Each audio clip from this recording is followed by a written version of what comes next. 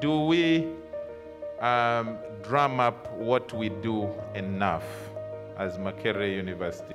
Whilst you do most of your things out in the media, perhaps Makerere is just being conservative, it doesn't drum up a lot of its work.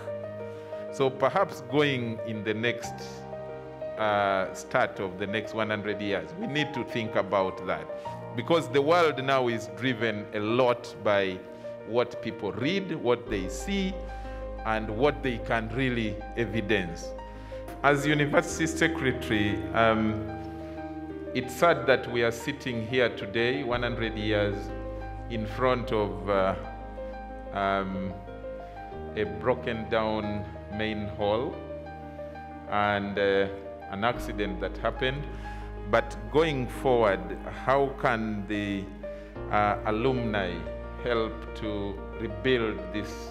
Just imagine 100 years down the road, many companies go under, many fail, especially in Africa. But look at what Makerere University is today. That's what we are celebrating. And just find it within yourself, the few of you who are here.